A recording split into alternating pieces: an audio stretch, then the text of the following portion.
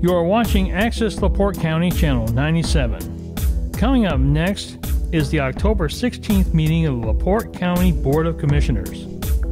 You can find more information for this meeting at www.accesslaportecounty.org.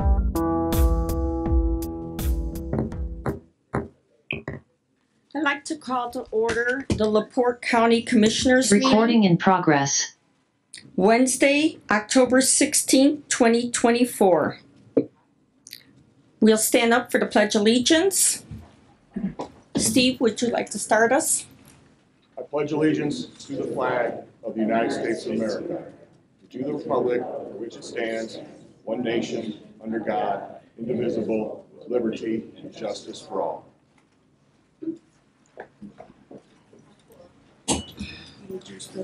Roll call, Commissioner Mrozinski, Here. Commissioner Gramarossa, present. Commissioner Haney. Present. All three present, accounted for. Consider agenda. Uh, Motion. Madam President, we have a couple of additions for the agenda under requests.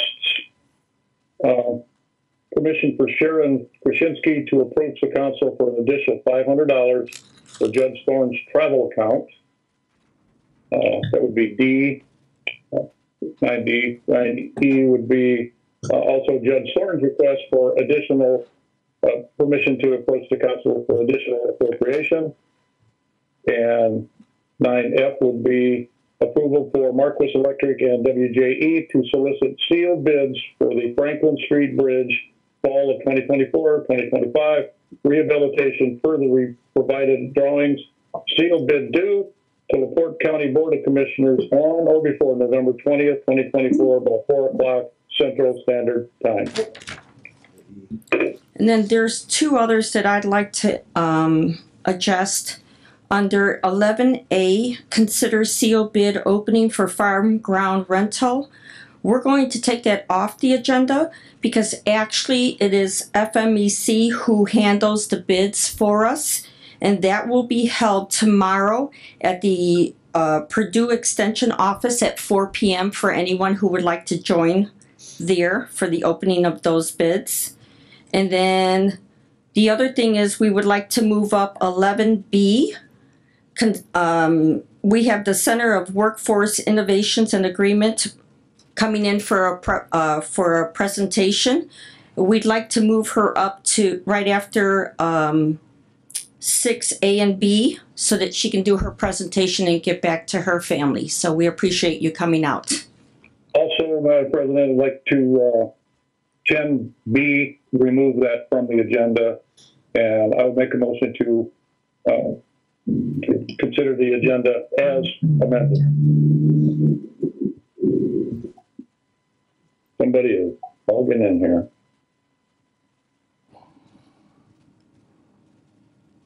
So we have a motion. Do we have a second? Trying to make sure I have all these down here.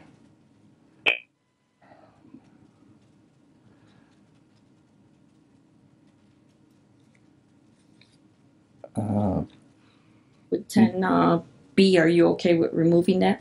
Did you catch the last one? I yeah, I did catch that one too. I'm going to. Uh, um, if you'd like to step down and second all those uh, adjustments, that's feel free. Are there any you have comf- are you uncomfortable with that you want to talk about?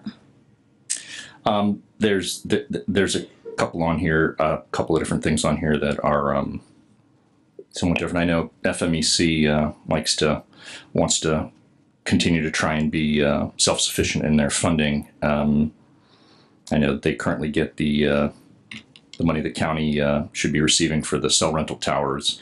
Um, considering we own that land and not FMEC, I mean, if Okay. even though they're getting the money for it, should should they be opening the bids? And if they are going to open the bids tomorrow instead of opening them today, was that noticed properly to make that change? Since we did motion for us to get those uh, to get those done. I, I believe, I believe the notice was for them to actually go to Mr. Biji's office. Mhm. The actual notices to be presented. Right to be So, office, and but you know, so the way that the contract is written, I think that they would have the legal authority to go ahead and do so between the contract between the council and FMEC. Between the All right. commission and FMEC. All right, I'll, I'll have to look, I'll, I'll have to look more into that. Okay, so I'll step down and I'll second that, uh, motion. All those in favor say aye. Aye. Nay. Okay, There we go. Moving on. Consider approval of the October second, twenty twenty-four minutes. Motion to approve? A second? We have a motion and a second. All those in favor say aye. Aye. Aye. Consideration of claims, pay, starting with payroll. Commissioners, we have payroll for the period ending October fourth, twenty twenty-four in the amount of one million, four hundred sixty-three thousand, nine hundred nine dollars, seventy-seven cents. Motion to approve payroll as presented? Second? We have a motion and a second. All those in favor say aye. Aye. Aye. Operating expense claims. They would be in the amount of two million, eight hundred two thousand, six hundred eight dollars, ninety-eight cents. Motion to approve the claims as presented? Second? We have a motion and a second. All those in favor say aye. Aye. Aye. Okay. We'll proceed with the presentation for the Center of Workforce Innovations and Agreement. Lisa, welcome. Good Evening. Thank you uh, for having me, Commissioners. My name is Lisa Doherty. I'm the CEO of the Center of Workforce Innovations, which is a nonprofit located in Valparaiso. However, we are contracted to staff and manage the WorkOne locations throughout Northwest Indiana, which includes a location in LaPorte. I am a LaPorte County resident as well, just as an FYI. My purpose tonight is to introduce the organization to you in the event that you are not familiar. My presentation will be brief. It, because it's brief and there's a lot of work that we do, uh, it, it may actually raise more questions uh, than provide answers. But please know that uh, Again, my intention is to be brief, give you a very high-level overview of the work that we're doing in LaPorte County. And know that I am absolutely willing to come back and/or attend, you know, other meetings uh, to fully, um, you know, explain and, and provide status updates on the, on the work that we're doing. You have uh, two documents. Uh, each there, I did provide one for each of the commissioners uh, and and Diane. I'm happy to provide more. The first document I'm not necessarily going to go into, uh, but I want you to know that our organization is the entity in the seven counties of Northwest Indiana that provides this labor market data uh, upon request. Uh, the majority of the requests that we get are either from municipalities uh, from economic development uh, entities uh, and or employers. Significant amount of data. We do host a, a semi-annual event uh, to review as we see trends changing. And of course, COVID uh, changed a lot.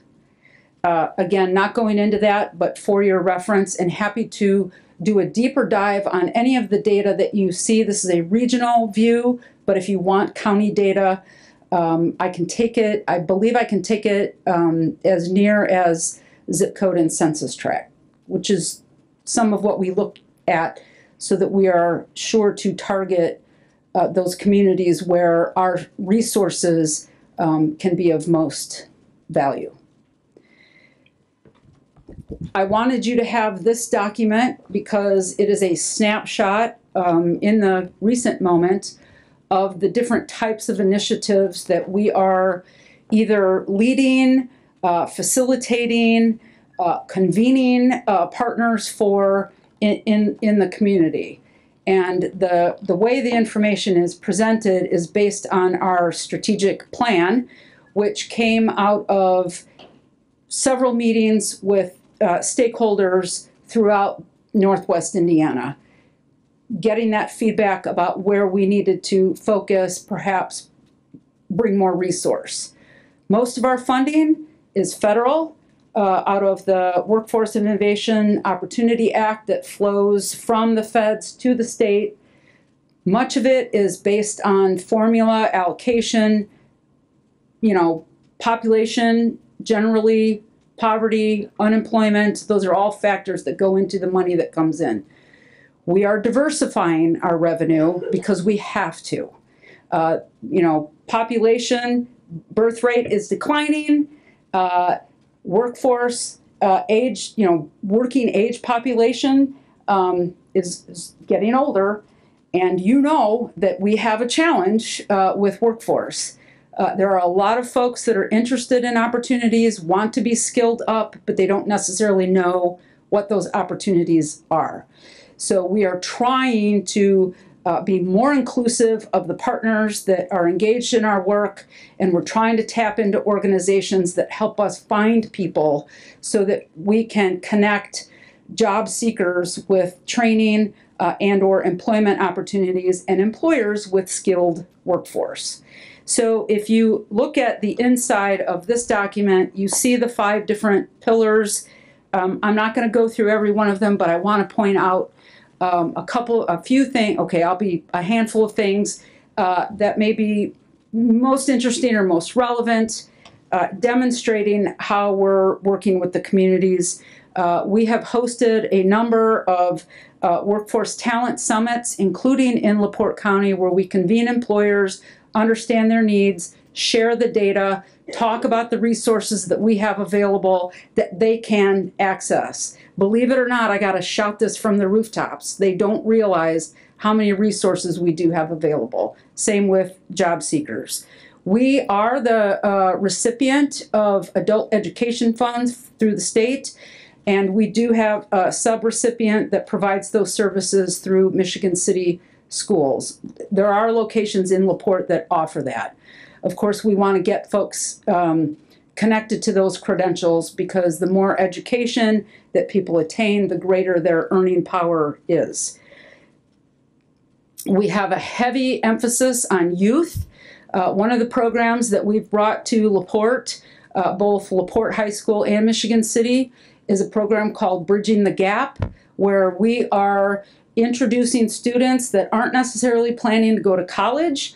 Uh, in fact, maybe they don't even have a plan, but they are interested in being career or job ready. And so we're bringing resources, workshops uh, to them so that they get exposure to different careers uh, and employers that are interested in hiring them right out of school. We do a lot with uh, work-based learning opportunities where they can earn pay while they're being trained uh, and uh, going to school.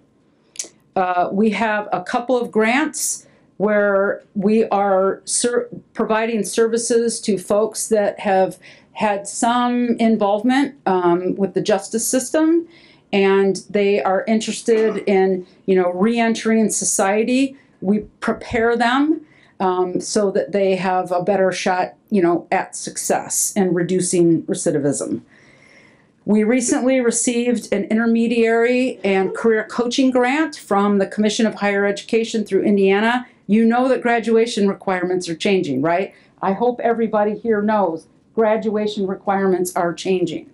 There are multiple tracks. Um, we are going into schools with partners and offering uh, counseling again so they get some exposure to the different uh, industries, sectors, types of jobs that are available.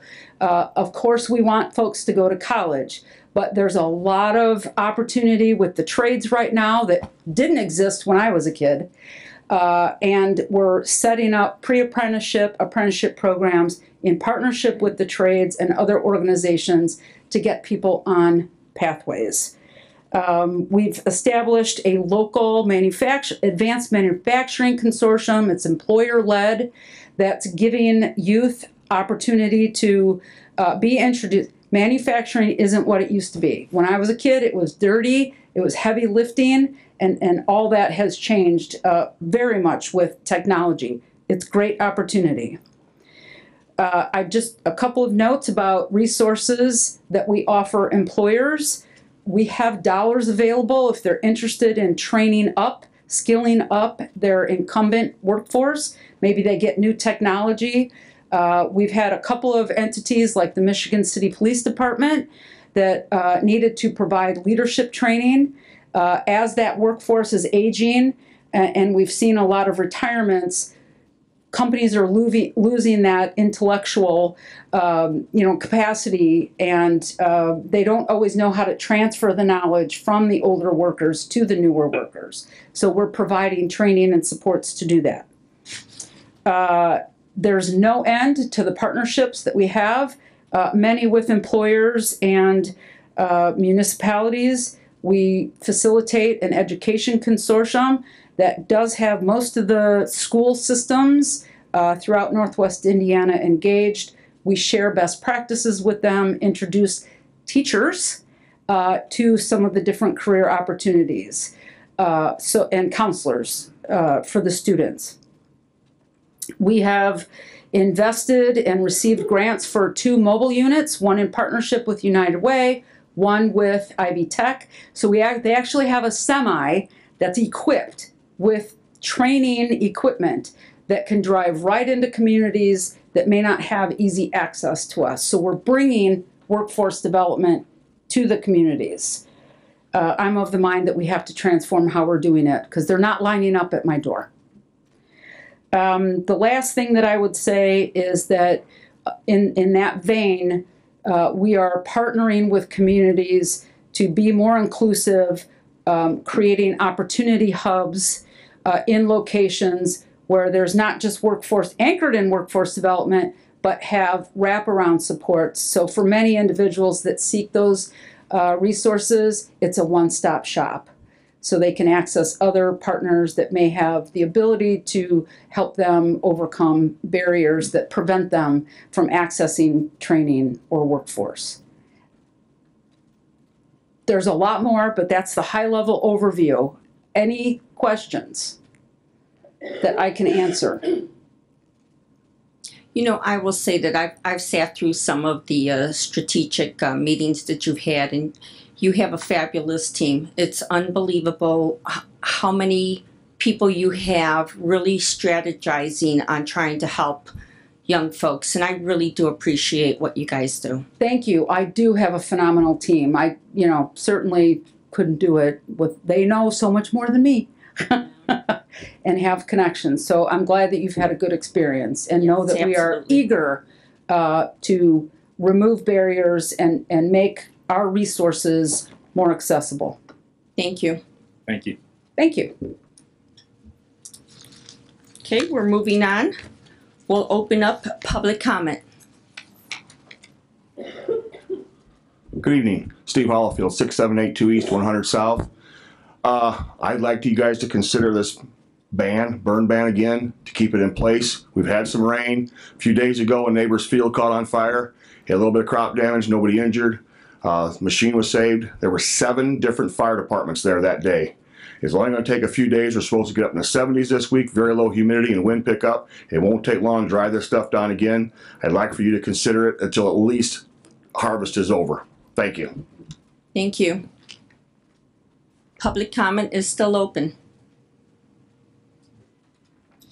Hi, this is Kalab. Oh, go ahead, ma'am. I'm sorry. Tommy, you can go first if you like.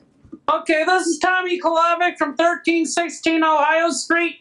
I'd just like to give a public service announcement and just let everybody know we have two more Saturdays remaining for our Michigan City Farmers Market at 8th and Washington Street. It's on Saturday between 8 and noon. They're in the Uptown Arts District. And let everybody know that uh, next year we're going to have to find a new location for our farmers market because we got the development plan. Mayor Angie tells us there's going to be like 200 workforce development apartments going into the into that lot. A lot of big things happening here in Michigan City right now. So she says probably going to be somewhere downtown. They were think, talking about moving it to Pullman Field and on the west side, you know, for the uh, to address the food desert. But the she also said the people, the the collective, the same ones that run the Farm and Forge Farmers Market in Laporte and the New Farmers Market New Buffalo are taking it over, so they could uh, provide with the SNAP and, the EBT uh, uh, uh, for the low income uh, folks that want to buy their fresh food and, and vegetables there. So I just want everybody to know that, and a and a happy Halloween. Thank you. Thank you. Thank you. Hi, Commissioners. Good evening. My name is Kaylee Sampson, um, 353 North Clark, Chicago, Illinois. Um, I'm with the Blue Stem Solar Project. Um, I just wanted to come here to state, I know we're not on the agenda tonight. Um, we have a couple of supporters here just to show that um, there's active support for the project. Um, I did just want to say uh, we have been communicating with the County Highway Department um, to make revisions to our road use agreement, and we have incorporated their comments in our latest draft, um, which we have shared with the county attorneys. And I hope they've passed it along to you as well. Um, and we look forward to seeing it on the agenda on November 6th. Okay, and you know, I, I want to apologize to you. You did leave me a message, but you didn't leave a phone number. So you called the county number, so I was not, not able to get your number. So, Sorry about that. problem. Thank you. Thank you.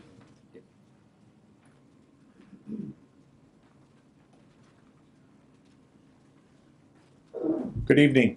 First thing I'll, uh, Randy Novak, Chairman of the Fire Chiefs Association. So uh, I agree with extending the burn ban. The only circumstance that I would add is a caveat that if, if it's a special situation and they get permission from the local fire chief to be able to do something, because there are certain types of burns that uh, ag does that aren't near fields or kind of off and they're controlled. And if the fire chief comes out and inspects it and says, yeah, this is not a threat, and maybe they work out a deal where they stand by or do something, then that would be allowed instead of, you know, just flat burn ban. So I, I would encourage that. That's one thing. Second thing, good evening, Randy Novak, President of FMEC. To address your concern about FMEC opening the bids with the fire, uh, the farmland, that was discussed. I approached the commission president. It was turned over to the commission attorney and FME's attorney, FMEC att- attorney, to work out to figure out if it's you guys do it or if we should do it. We don't. We didn't. There's no preference that FMEC wanted to be the ones taking the bids. The commissioners wanted to do it. We were fine with that. It was determined that that was the way to go because the ground was part of the lease that FMEC has, and that's why that was done. So And that there. agreement was made back in 2018, was it not? The FMEC agreement? It's been a number of years. Yes. quite a few years. Right. And the current last lease payment on the ground was twenty-three thousand dollars. So I don't know where those figures came out at the last meeting, hundred dollars an acre. It was twenty-three thousand dollars was the last, um, payment that was received beginning of last year. So, and, and it's FMEC because the commissioners have never bid it out. FMEC asked to have it bid out because there's several farmers that aren't given the opportunity to bid on that. So that's why we approached and um, asked that it at least go out, so. And another thing I'd like to you to explain because I think this is important. FMEC actually works for us, and so the monies that's being made doesn't go to any kind of other entity. It's actually money being reinvested into the fairgrounds, 100%. correct? Right. So Okay. F, so the money that the county puts in, the council puts into the infrastructure with the commissioner's approval is one hundred percent in the infrastructure, doesn't go to personnel, doesn't go to anybody else. The money that FMEC generates with rentals from, um, the, the split that we get from winter storage, the split that we get uh, when we do weddings and different things like that, events out there, that pays for the staff and the personnel and other projects out there. So we subsidize a lot of projects. We just replaced uh, two refrigerators because voter, they're voting in the uh, small projects building. They needed a new refrigerator. So we ran out, the refrigerator was delivered this week because the old one died. So we put new two stoves and stuff in there. FMEC is paying for those, not coming to the council for those. So, Thank you. thanks, thanks. Good job. Do we have anyone else for public comment?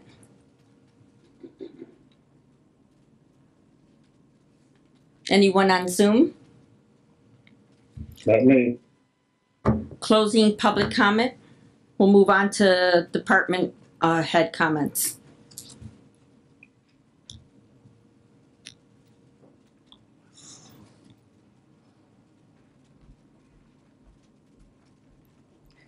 Good evening, Commissioners. Monique Thomas, HR Director. Over the past eight months, the HR Department and the Payroll Departments have been working collaboratively together with vendors, uh, working on a time and labor system. I would like to request a joint board meeting with the Council and Commissioners to discuss funding for this project.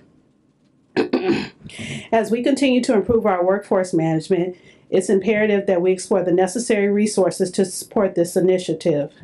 However, to move forward, we need to discuss potential funding options and align our goals with the budgetary considerations. I believe a joint meeting would be beneficial to discuss solutions and how we can secure the funding to make this project successful. At this time, I would like to ask for your approval to schedule a meeting with the council and the commission to discuss a time and labor project with the vendors that we've been meeting with. Motion to approve that. Uh, I- I'll second that and also uh, ask you could send all of us an email and either, you know, uh, through Doodle poll or um, Teams meeting or whatever to get us to select some times and dates that'll work best for everybody. Okay, Usually it's before one of the meetings, you know, either before a council meeting or something like that. It seems to be good since all the council members are there and that counts for all seven of them. So, but whatever works for everybody. Okay, so we have a motion and a second. All those in favor say aye. Aye. Thank you. And also, um, I would like to propose and get your approval for an event for our county employees to encourage and boost morale. Um, a spirit week for the a week of November 12th through the 15th. It's completely voluntary, and those that want to participate can do so by dressing up for each day and taking pride in working together here in LaPorte County. Um, I'm just asking. Um, I know Monday, November 11th is Veterans Day. We won't be here, but the week of the 12th through the 15th we can do, uh, Tuesday, Ties and Pearls Day. Wednesday is Hat Day. Thursday, support your favorite sports, college team day, and Friday, a pajama day. So I'm I just like it. I like it. I'd make a motion to, uh, let her do that. Sounds sounds fun. Second. Now, we have a motion and a second. I'll just say one thing. I don't know how people are gonna feel when they walk in on a Friday and we're all in pajamas, but, um, with that being said, we have a motion and a second. All those in favor say aye. Aye. Aye. Aye. Well, You know, Monique's idea for the food trucks that she's done twice. oh, yes, and thank you guys That for was super. attending That that. was super. That was so good. Uh, there was so much camaraderie going on. The people that, I- that I've known working at the county, you know, I've been here 18 years, that you never really got a chance to talk to. That was a really great, great idea. And uh, thank you for being so innovative. Thank you. Well, you know, and I think that really brought people from the community. I mean, I really at both places we had businesses, nearby businesses sending their employees over. So it was really nice to have those. So I hope you plan some more next year. Thank you. With the approval. Yes, obviously. Thank you. Thank you. Yeah. Department head comments?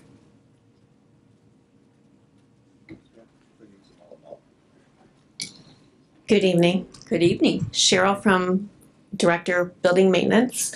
I'm here to approach council. I would like permission to approach council for additional appropriation for the following six items I have here.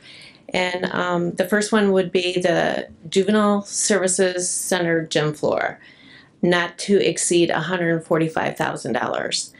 Um, I do currently have a quote for $132,350. hundred and thirty-two what? 132,350. Okay. Sorry. So this is for a welded gym floor. Um, I've been searching, there's no local providers in this area um, that does this type of work.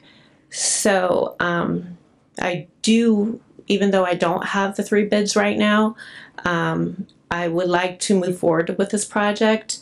Um, I am going to currently work on looking in Michigan and Illinois.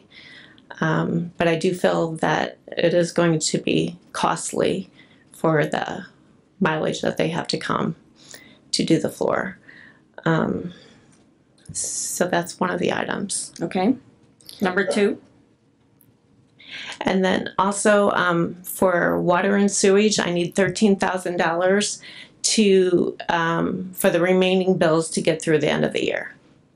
And that would be Laporte City Water, Michigan City Water, um, Wanatah Water.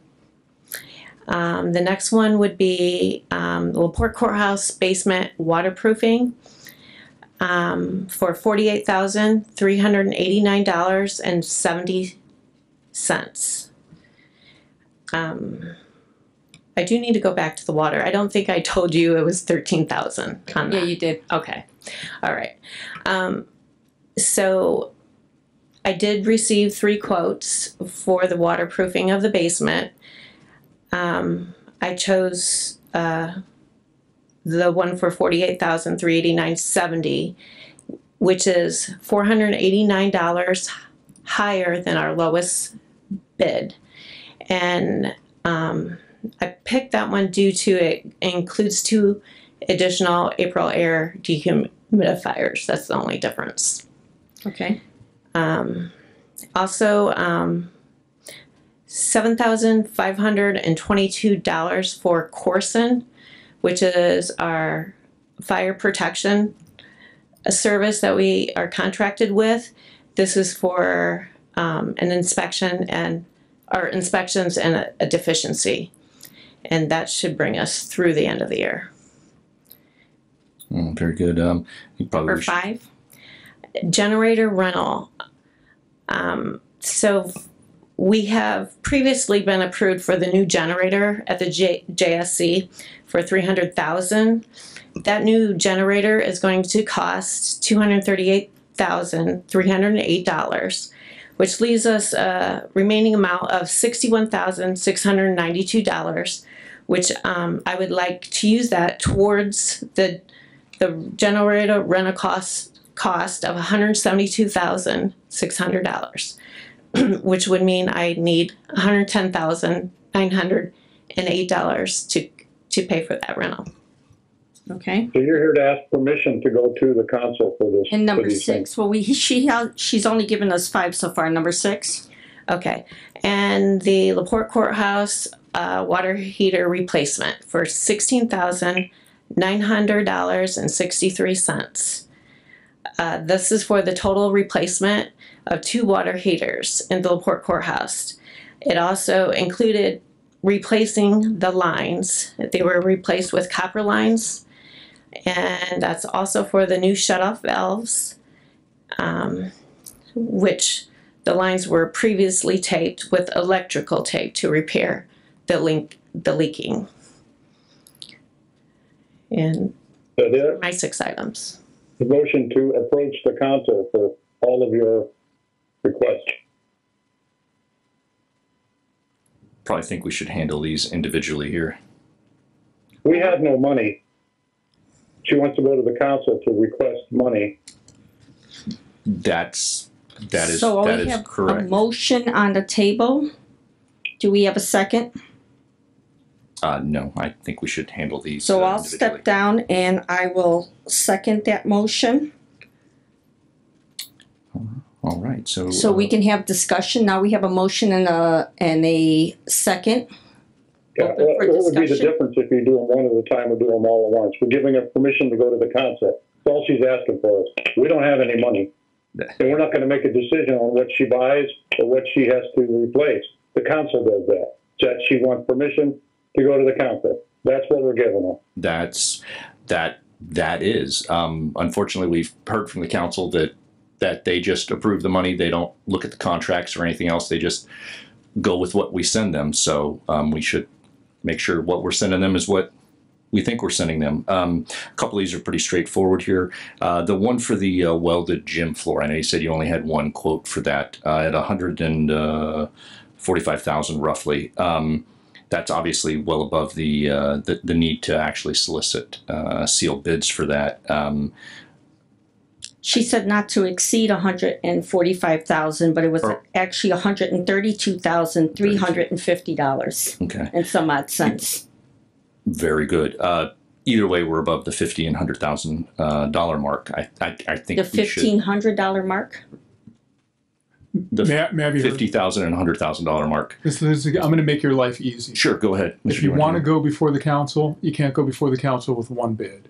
You have to either go to a, a, a purchasing agent like Sourcewell and see if they're able to do it, or you need to request three specific bids and invite quotes from three specific vendors in the Midwest and get them.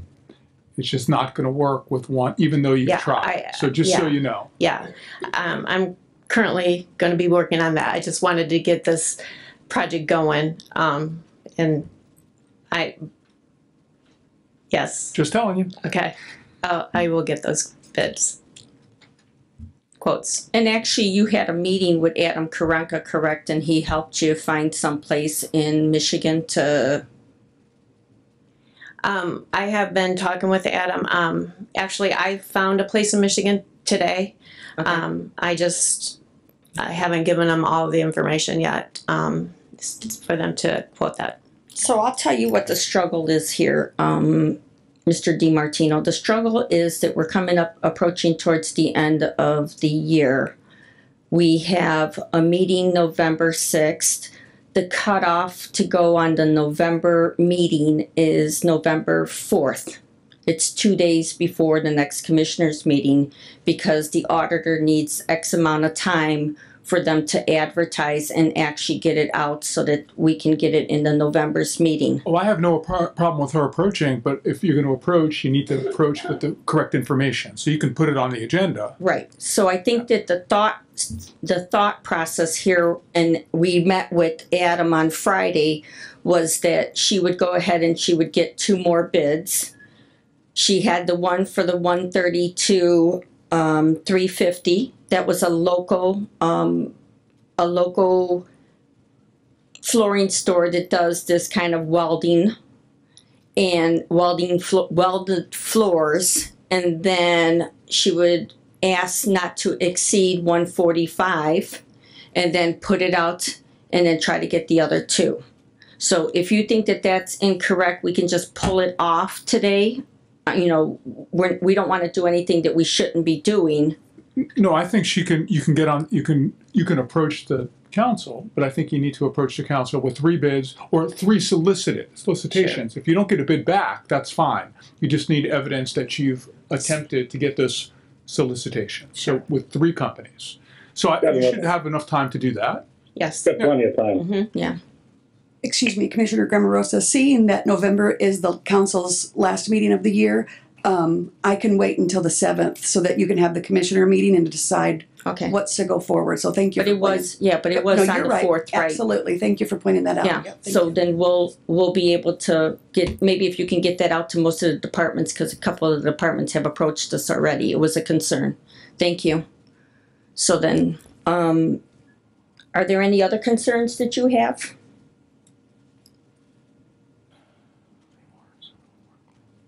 What uh, what uh, waterproofing uh, services are that? Because these are all uh, fresh items that I'm just hearing now. What waterproofing uh, services uh, are you are they going to be doing in the basement?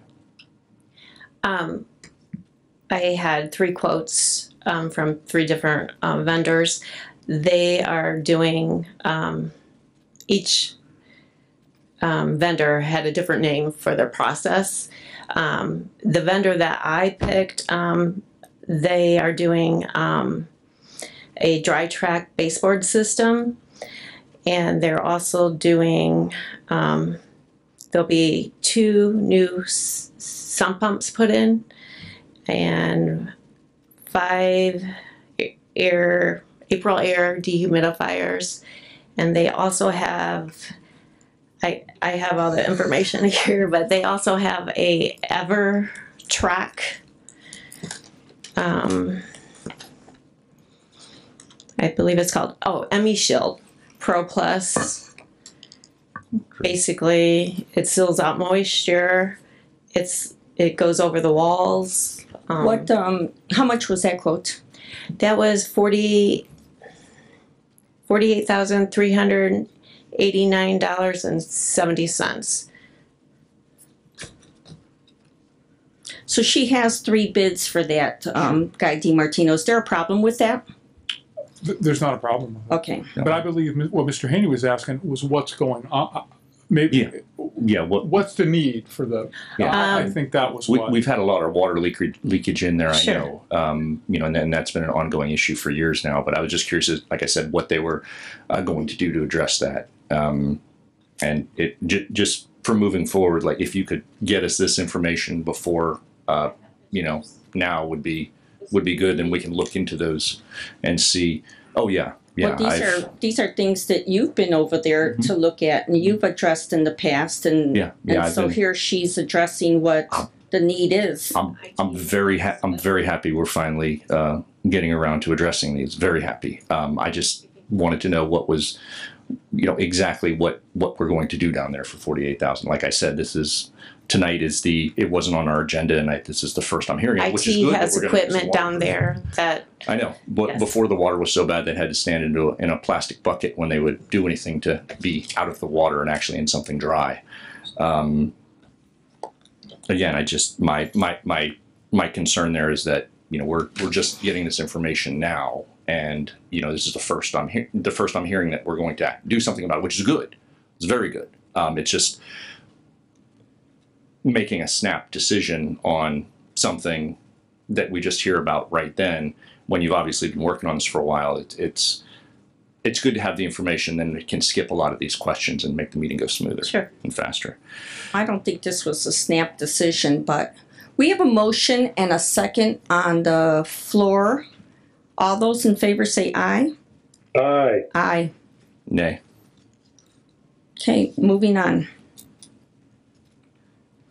Department, you're set. You have permission to go to the council. Department heads, do we have any other department heads? Hi, uh, Jeremy Sebecki from the Parks Department. I wanted to um, just give a quick shout out to the um, Highway Department. This weekend, Sunday, we had um, a, very large tree come down at the entrance to Creek Ridge County Park and actually trapped people in the park. They couldn't get out. Um, and by the time I got the call and then um, I got out there, Frank was already there cutting on the tree from the Highway Department and then Daryl showed up with the skid loader and stuff, so we got that tree cleared. But you know, and then and then they were back on Tuesday before we were even able to get the run throughs done at the park. They were already cleaning it up, taking hauling it away. So wanted to to mention you know that cooperation between the departments and how much help we get from them. It helps us out a lot and actually saved a lot of time getting people out of that park. Um, also, just wanted to mention we got several programs coming up. I know it's fall. We got some pumpkin carving. Look at our website, uh, laportecountyparks.org. Um, pumpkin carving contest, and then a Halloween night hike with hay rides at Luhr County Park. Those are on the October 22nd and 24th.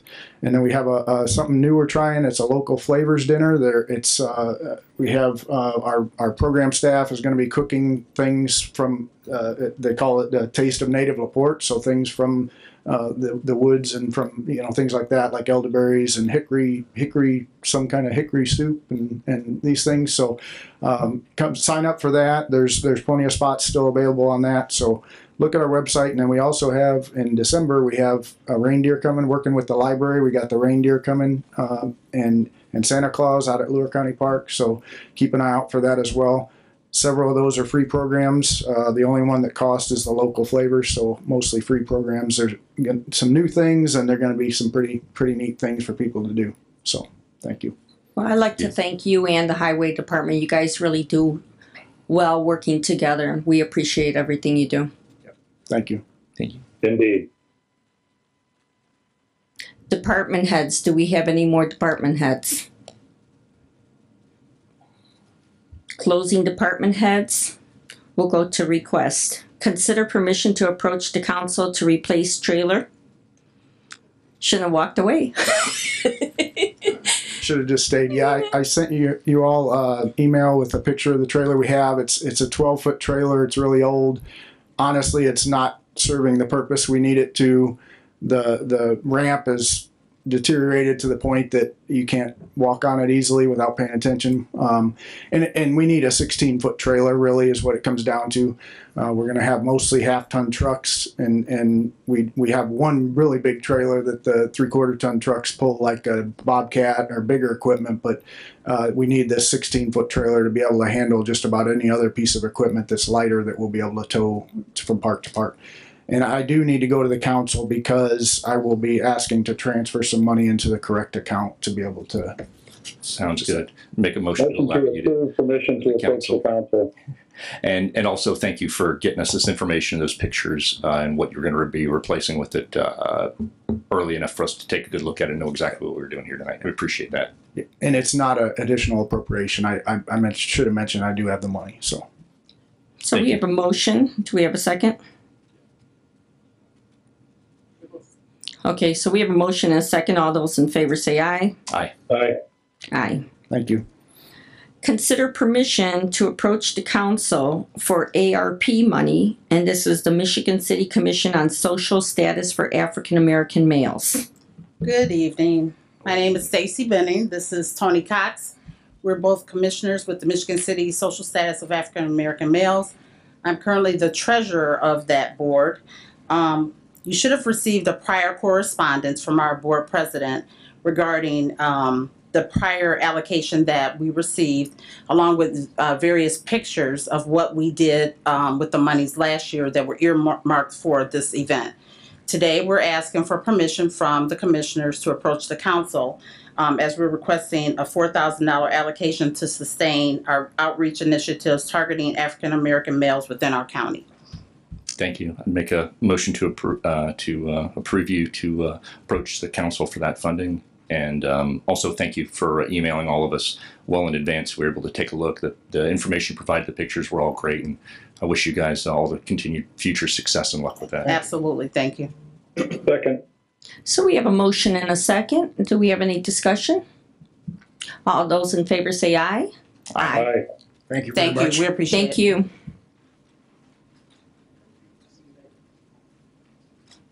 Moving on to Judge Thorne's court. So we, we have a permission for Sharon Konishki to approach the council for additional five hundred dollars for Judge Thorne's travel account.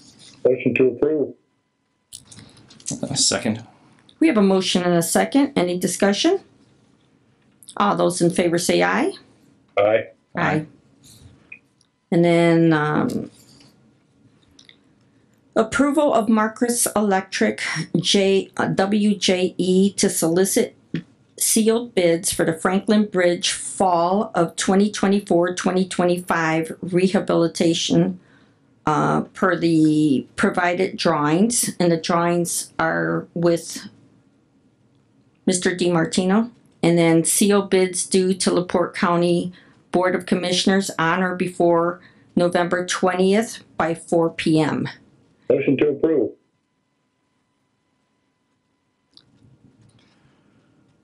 So we have a motion. Do we have a second? I'll, I'll second that. We have a motion and a second. Do we have discussion? Um, do we have a, um, a list of what the actual solicitation is going to read? Yet? Or, or they have to Have the draw it scope. over? We do have the scope?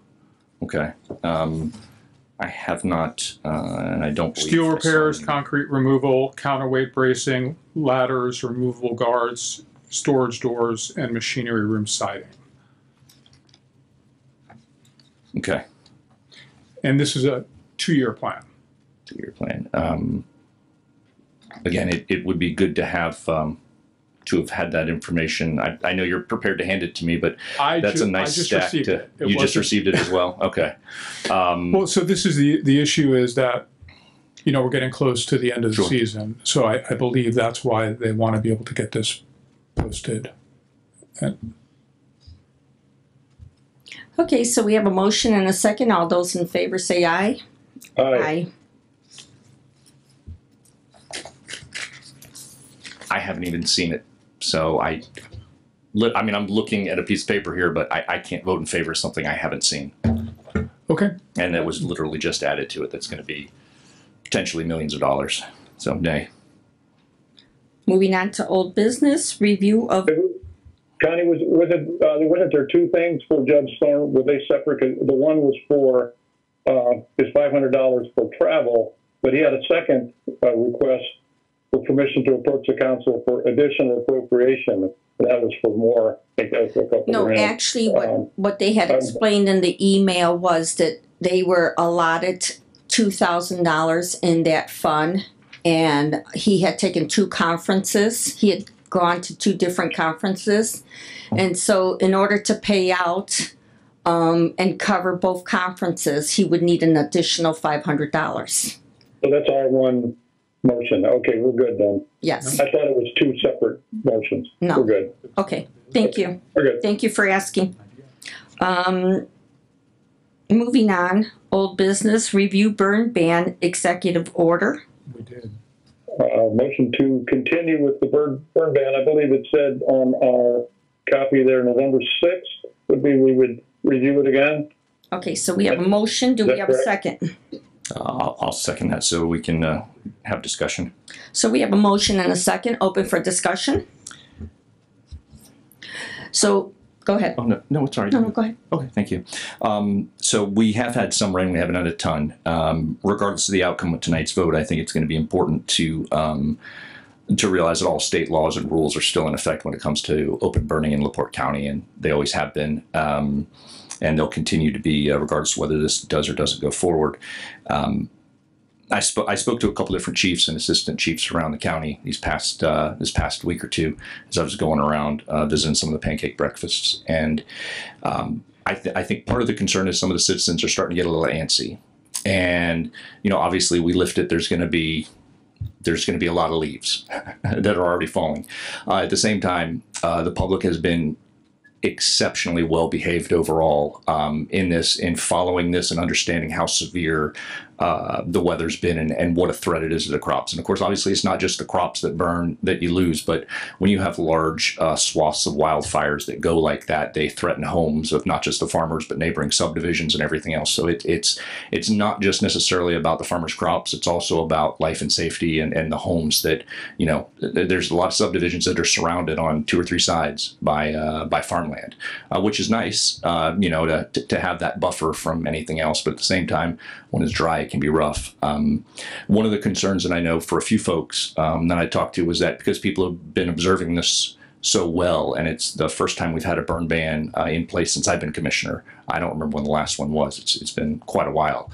Um, that if we keep going too long, it may lose its effectiveness the next time we have to come around and do another one. Um, it's it's I understand people are getting antsy, and and I don't I don't want them to think we're just continuing it for no reason. And at the same time, um, I think that I, I think probably a better uh, a better path, at least as far as I would be concerned, would be to have a uh, a burn ban warning and leave it up to the jurisdiction of the uh, of the individual fire department chiefs in their townships to determine what's best for their townships. Because in some areas, uh, it's a little worse off than others. I don't know if you guys realize. Realized I was out uh, the other night uh, during the rain that we had, and we got a tremendous amount of rain in some areas of the county, and then you get a little further south, and there was hardly any. Uh, you know, we, we got some, but not as much as you know. We got two or three times the amount I think in Michigan City. So, as I was out and about the other night, um, I noticed that just anecdotally. So, um, uh, I would I, I would be inclined, um, and and I think I will. I would I would amend your motion uh, if you're amenable to it uh, to uh, be a burn ban a a, a burn warning. I don't know how So before you we, amend it, maybe we can all speak? Sure. Yeah. Yeah. Yeah. Please go ahead. So I actually talked to four different farmers, and what I do is I pick someone close to the Kankakee River, as far south as we can go, someone midway point, someone out in Westville, and someone out in Fish Lake. And so, in talking to some of the farmers and talking um, to some of the volunteer chief um, chiefs from the fire departments, they would prefer that the ban stay at least for just two more weeks. There it is very very dry in south county. There we're anticipating 70 degree weather and you know it may be a problem in south county. When we make these decisions it has to be for the entire county unfortunately. We have the uh, president of the fire um, yes please please approach i know you had made some suggestions I would just recommend instead of a warning, a warning is like a warning speed limit, warning slow down. Nobody slows down. Nobody's going to stop burning. That's why I think if you leave the ban in place, but if somebody has a circumstance where they contact the local fire authority who has the jurisdiction in that community, and they give them the okay, then then that's them. So you're kind of shifting it a little bit, allowing certain circumstances, but somebody's still controlling it. It's not just opening the door. So um, that way, because different counties, I mean, not different counties, but different townships have different, like as Joe stated, uh, weather. So I've added language, should you choose to go forward with this, or any specific burn that is approved by the local fire chief where the property is located.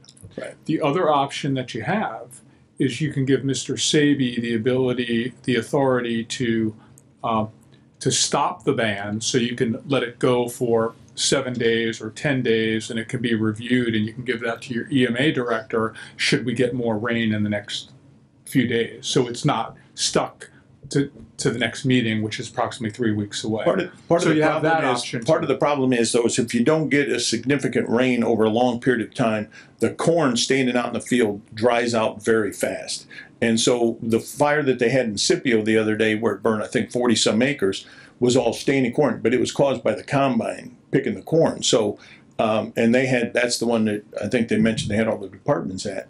So it's, it takes a significant amount of rain, but there's some people that are gonna burn, and it could be a complete dirt field where there's no exposure, nothing there, and, and if they contact the local authority, they could, you know, they might even stand by for some of these, so. I trust Randy Novak explicitly, and I would uh, stay with my motion to keep the burn ban in place until our next meeting.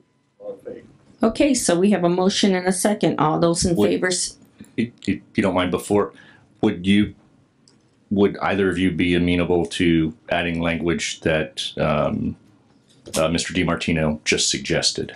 Or any specific burn that is approved by the local fire chief where the property is located, as an exception.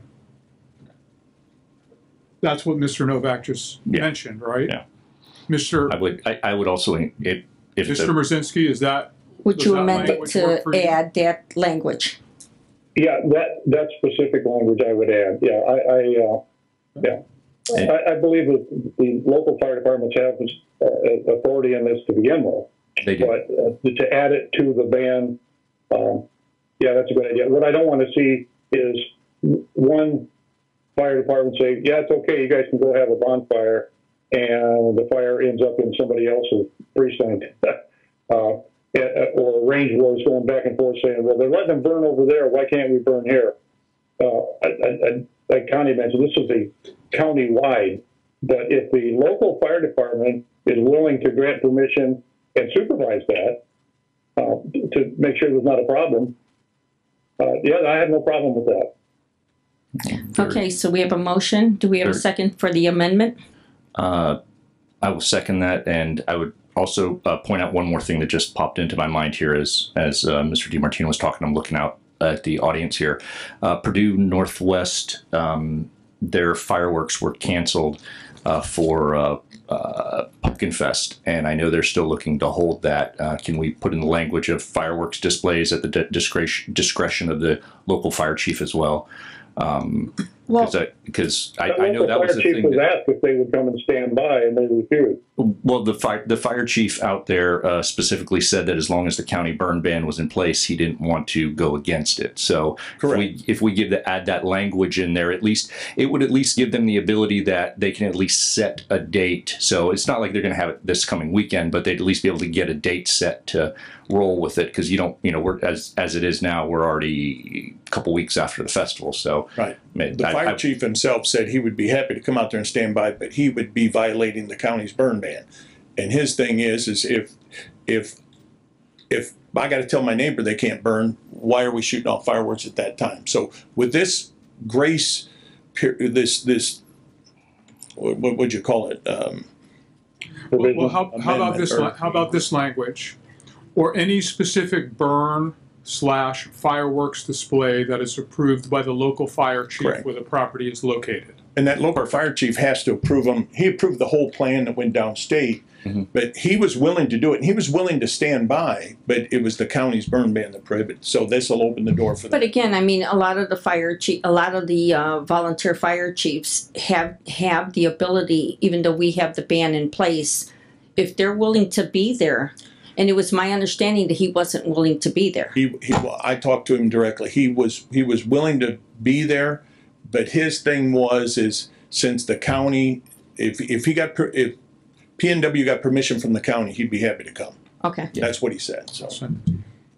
So, I, I would be, uh, amenable with that, that addition that, um, Attorney DiMartino added.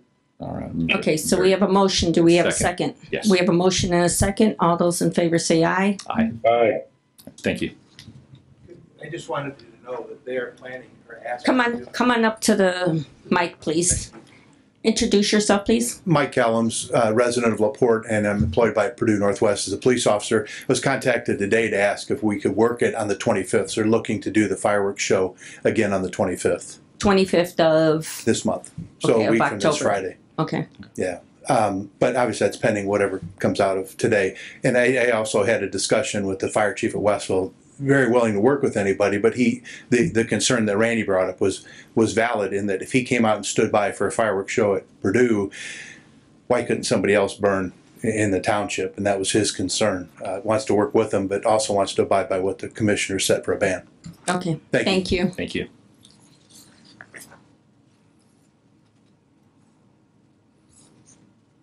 Okay, moving on to new business.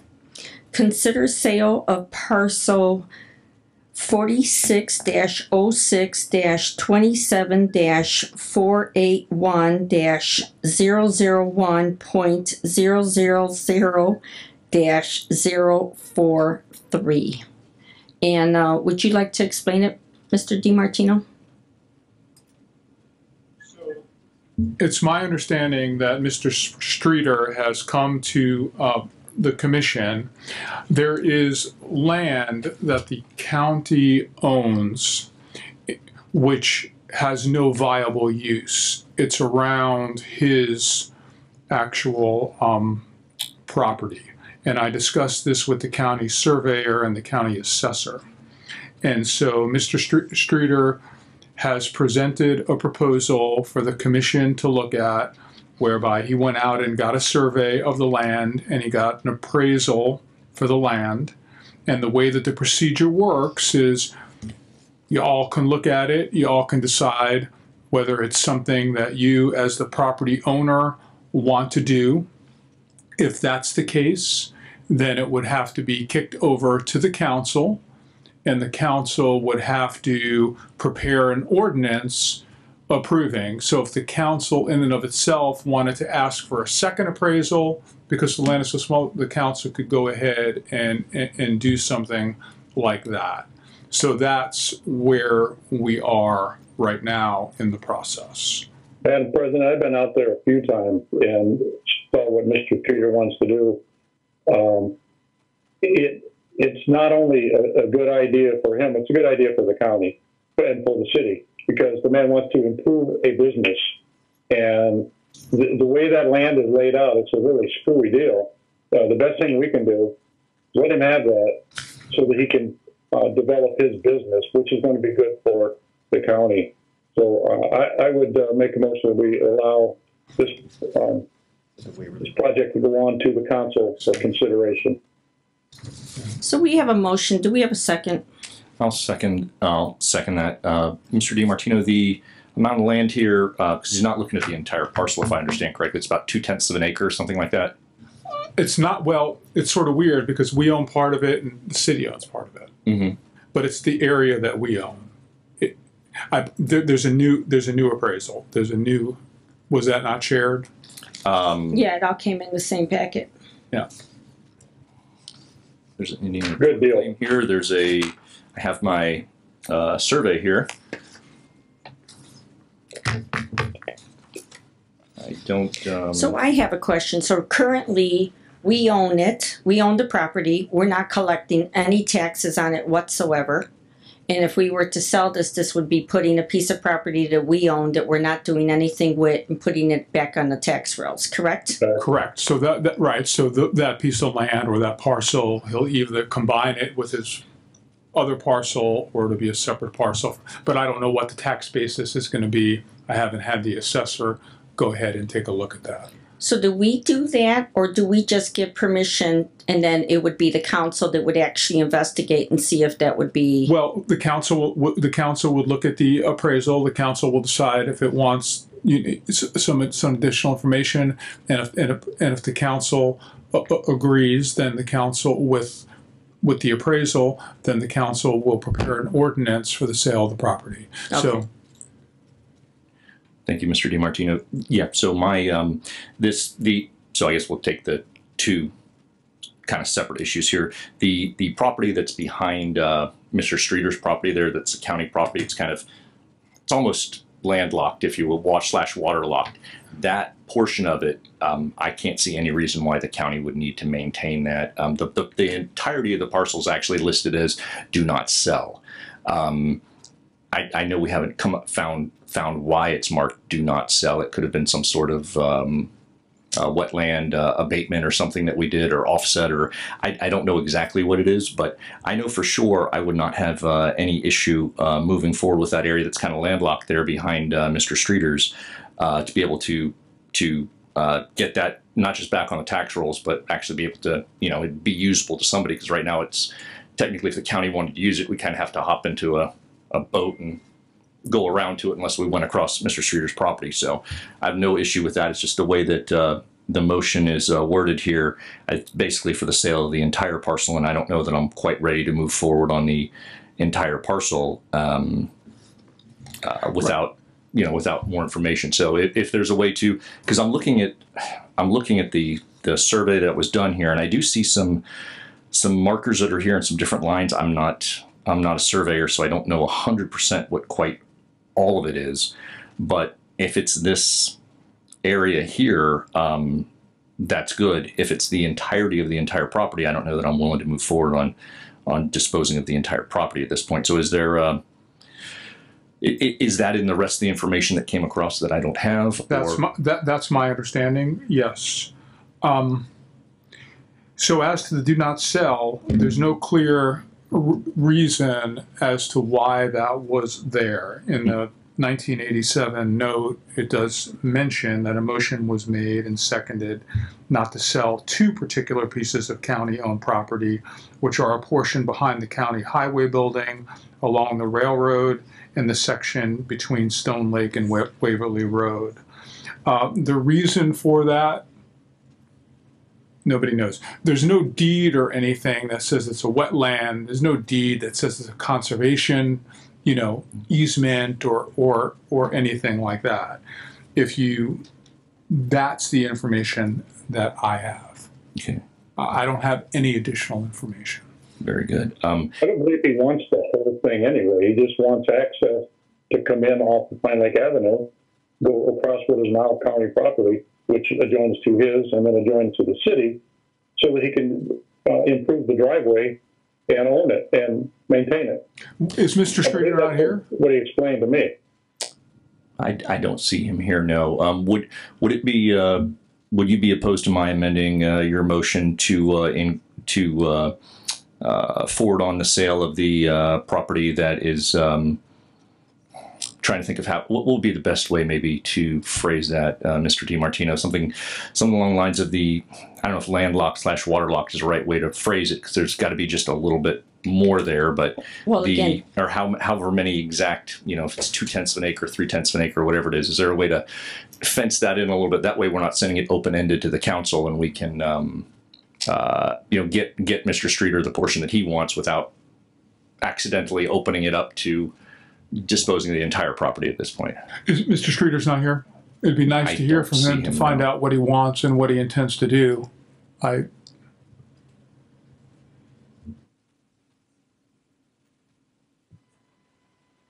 Hello, I'm here on the Zoom. Oh, excellent. well, you've heard the discussion, Mr. Streeter. I have. Okay, talk to us, please. Okay, so the What Joe is talking about is two, three tenths of an acre, I believe. That is uh, tied directly to my property that I had uh, Mr. Hendricks survey uh, about a month ago. That includes the driveway that comes down um, from my upper property to my lower property. Um, the whole parcel is the the parcel that Connie read the parcel number would be the whole piece, uh, which is three, four acres. Adjacent, adjacent. Adjacent, the whole thing. It's still shown as one parcel right now, but Mr. Hendricks has surveyed off the other piece. The markers are out there. Um, so honestly, I'm open to either one. Um, I would like the whole thing. Uh, I don't need it, but I think I could clean it up and improve it. Um, it's been quite the homeless uh, hangout down there. I don't know if anybody's stepped foot on that property. Uh, there's, oh, honestly, a 30 yard dumpster of trash down there. Um, it seems to be a hot spot to throw out all your garbage. I know the county came in uh, this summer and pushed back the tree line a little bit. Uh, there were some limbs hanging and stuff. Um, basically, uh, I'll be honest with you, I just don't want to ever see it develop.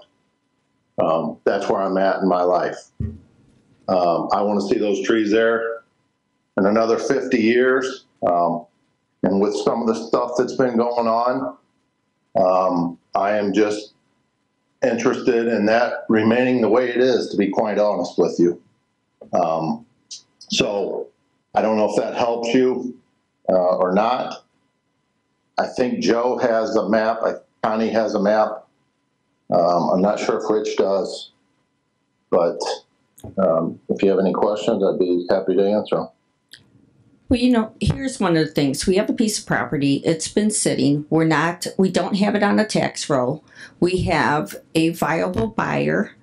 Um, one of the things that we talk about constantly is that we want to increase um, monies coming into in, in taxes. And here's a very good um, proposal where we have a piece of land that we've done nothing with and someone is willing to buy it from us and start paying taxes.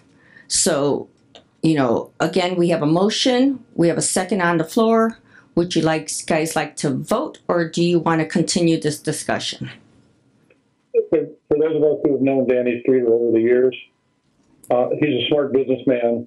He'll do the right thing there. He, I mean, you look at his track record. Uh, Mr. Streeter, and I know most people don't know this. He does a lot of things that never get recognition. A lot of good things, and um, he's shown he's shown what his plan is to develop there. To not to develop the, the swampland, but to get access to his business and to ensure that um, well, number one, to clean it up and get the homeless out of there and get the trash out of there. He would be a good custodian for this. And like you said, also, um, we could get some taxes. I, I, uh, I stand on my original motion to uh, allow Mr. Streeter to take his plan to the council and uh, explain to them what he wants to do. And I would encourage people from the council to go out there and look at it. Go look at it in person. And it's it's hard to understand what it really is until you go there and see it. Once you look at it and see it, and Mr. Streeter uh, explains what he wants to do, it's pretty much a no-brainer. Okay, so we have a motion and a second. All those in favor say aye. Aye. Aye. Aye. Moving on. Consider settlement approval of Hester's versus LaPorte County Highway. So Commission, this was an automobile accident case that was um, handled by Mr. Friedman and apparently on October 3rd, uh, Ms. Gramarossa and Mr. Friedman went to uh, mediation in this matter. Um, and the mediated amount settlement that's before you right now is $19,000.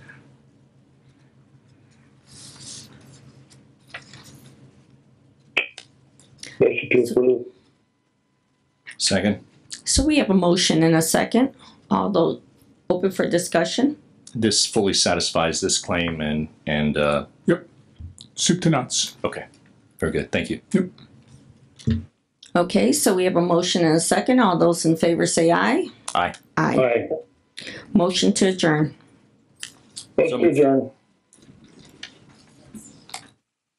Motion and a second. All those in favor say aye. Aye, Aye. Thank you. thank you.